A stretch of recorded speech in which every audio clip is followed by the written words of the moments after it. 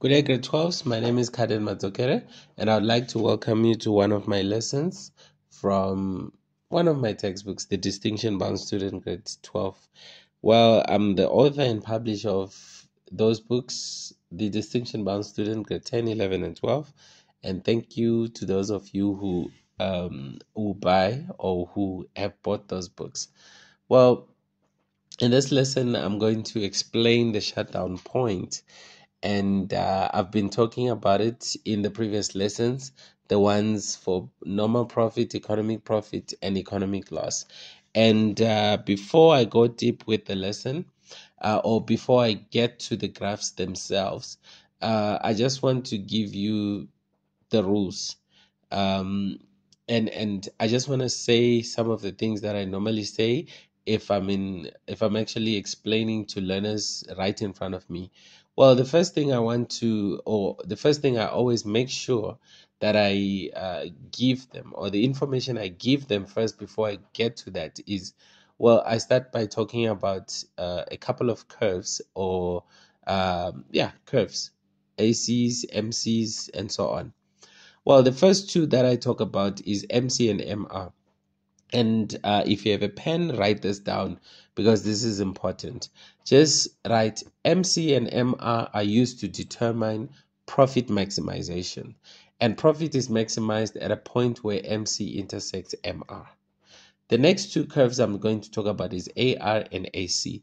AR and AC are used to determine uh, the type of profit, or they are used to determine whether a firm is making a normal profit an economic profit or an economic loss. And uh, if AR is equal to AC, we say the firm is making a normal profit. If AR is greater than AC, we say the firm is making an economic profit. If AR is less than AC, we say the firm is making an economic loss. And the next two curves I'm going to talk about is AR and AVC. And maybe I can also include um, MC maybe. Well, AR and AVC, maybe an MC, an MC. I hope I'm not confusing you. I used to determine whether whether or not a firm should shut down. A firm should consider shutting down at a point where um now now there is a phone that disturbed me. Okay, let me rethink what I'm saying. MR no no AR and AVC are used to determine whether or not a firm should shut down, right? And a firm should consider shutting down if its price or AR or average revenue is less or equal to average variable cost. Well, it will make more sense if you write it down and uh, if you, you know, go continue with the lesson uh, and and look at the graphs as I'm going to explain it uh, right here. As usual, we start our graphs with yo here you need a bit of concentration but it's not complicated you see just now. And and um i'm going to draw this in a and i'll include way too many things and and it's not really how you should draw it in an exam if they ask you to draw and show the the shutdown point. I'm doing it basically for you to understand what's going on.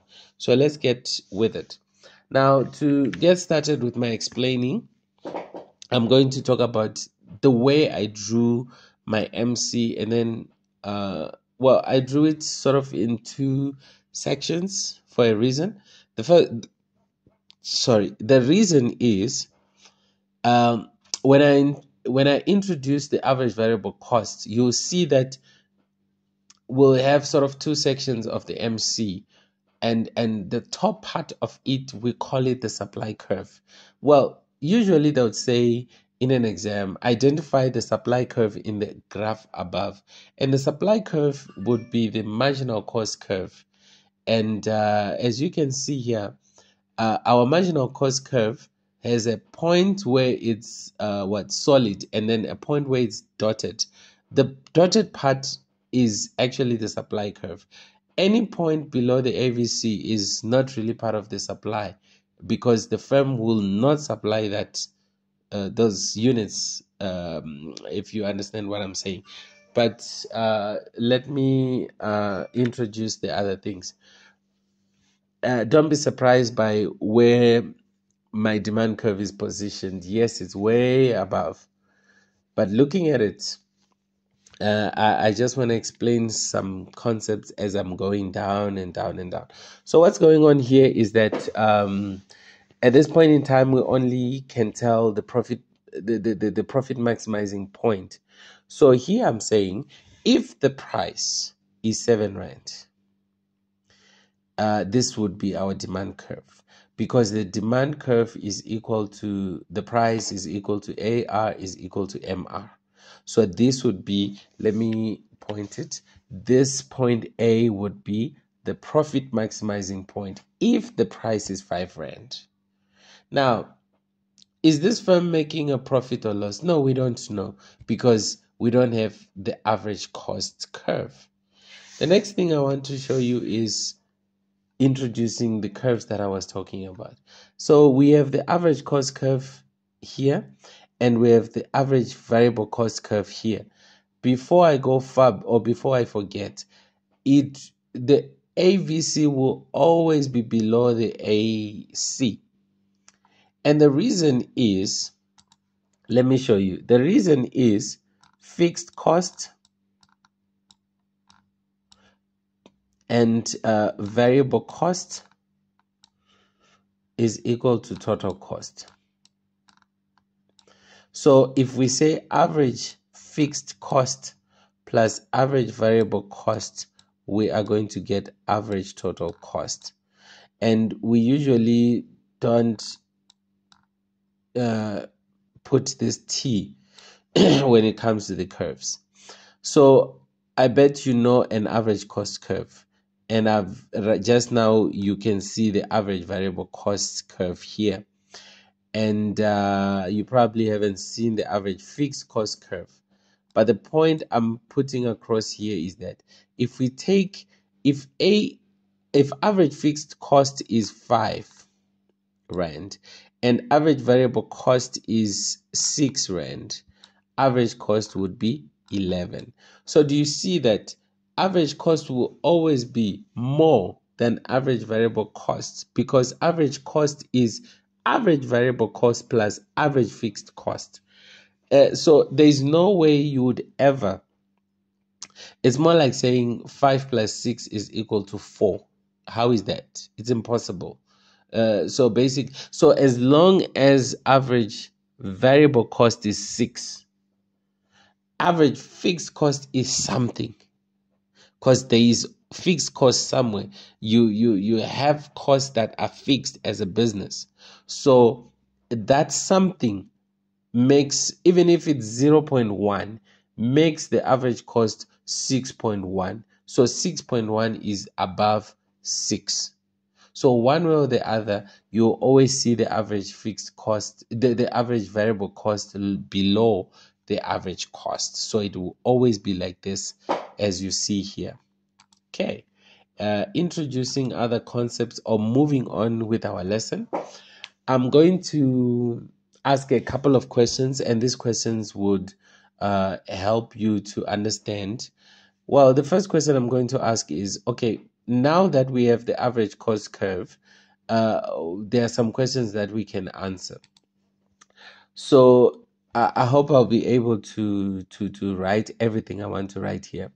So I'm going to write average revenue here. Well, we have it there. Okay, yeah, but I will. And then I'm going to write average cost here. Then we can tell the type of profit here. So profit or or loss. So we have profit or loss there. Right. So having that, let's look at a scenario where market forces of demand and supply uh, give us a 7 so if the market price is 7 this individual is a price taker. So he is going to sell his units for 7 rand per unit. So if that's the case uh, is this firm making a profit or loss? Okay. So if it's 7 so we put a 7 here what is our cost? Well I don't really know, but somewhere here, let's assume this would be 5. Okay, I'll make it a 5. I, I hope, yeah, it makes sense to make it a 5. So what is 7 minus 5? 7 minus 5 is equal to 2. So this firm is actually making an economic profit. So if the market price is 5 rand, remember what we want to find out in this lesson. We want to find out at which point should this firm shut down or which one is the shutdown point. Okay, that's that's what we are looking for. All right, so this firm should the firm shut down or not?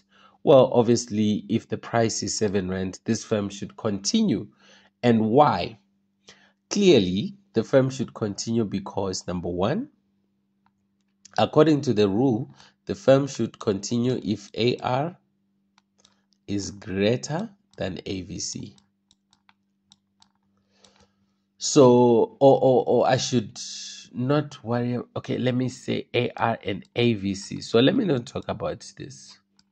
Uh, but I'll, I'll end up confusing you. So I'd rather continue the way I'm doing it.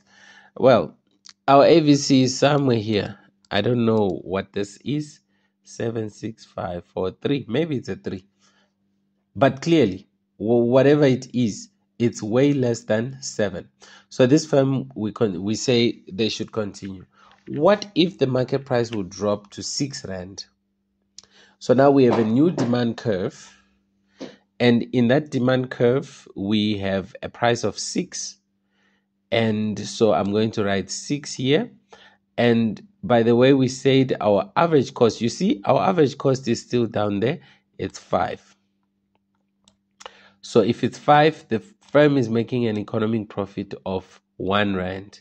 So definitely this firm can survive. They should continue. What if the price drops to, okay, that's, what if the price drops to 5 rand? Well, if the price drops to 5 rand, according to what we see here, this firm is making now zero. And zero is normal profit. And normal profit is good enough reason for a firm to continue. So definitely at a normal profit of zero, uh, as we can see here, the firm should continue. The firm should not even think about shutting down. All right, what if the price drops uh, from 5 rand to 4 rand? Well, if this happens, so we now have an average revenue of 4 and we still have our average cost at 5. So now we have a negative 1. So this firm is now making an economic loss. So making that economic loss of negative 1 rand, the firm should consider whether it should shut down or not. But now, according to the rule, uh, the the value of our AR is 4. I should have been talking about AR and AVC more than even talking about economic profit and economic loss. But yes, I'm I'm talking about it now and you can hear me. AVC. So if we look at oh, I can write it here. At this point in time, our AR here is 4. You see? And our AVC, here is average variable cost, the red line. You can see our AVC is down there, probably at 3. So if this is 4 and this is at 3, our AR is greater than our average variable cost. So this firm should continue even though it's making an economic loss of 1 rand per unit, negative 1. What if the price drops now to to four to three rand. Well, now we have reached a point where AR is now equal to AVC. So, according to the rule, a firm should consider shutting down when its average revenue is less or equal. So, in this case, it's equal to AVC. So, this then turns out to be the point. So, basically, point E in this case, the point that we always know as equilibrium. In according to this graph, point E is our shutdown point because this is a point where AVC intersects MC.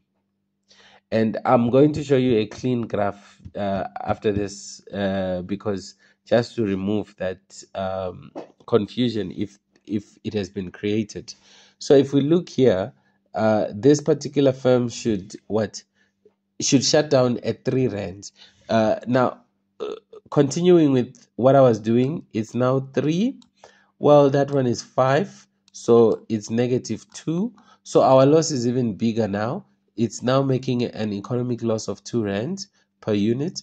And uh, according to our rule, the firm should not even consider selling at any like if the price will drop anywhere below three rand, the firm should shut down.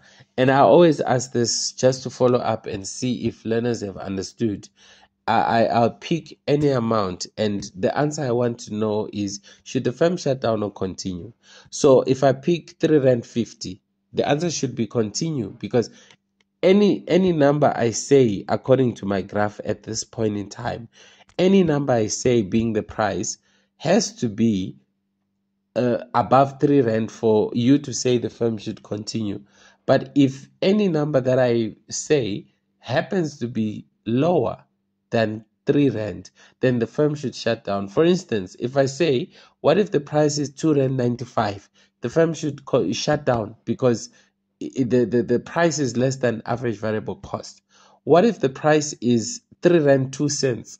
The firm should continue because that 2 cents makes it above AVC.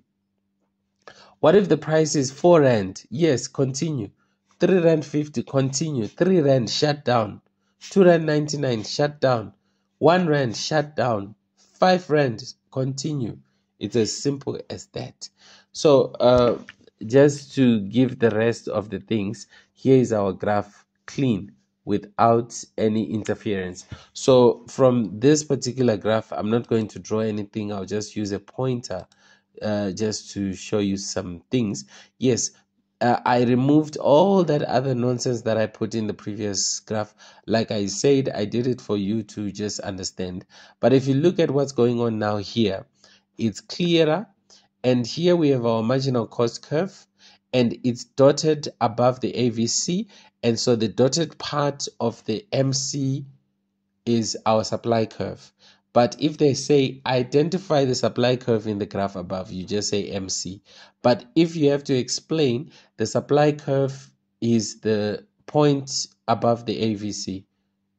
Yes, the point on the MC above the AVC is our supply curve.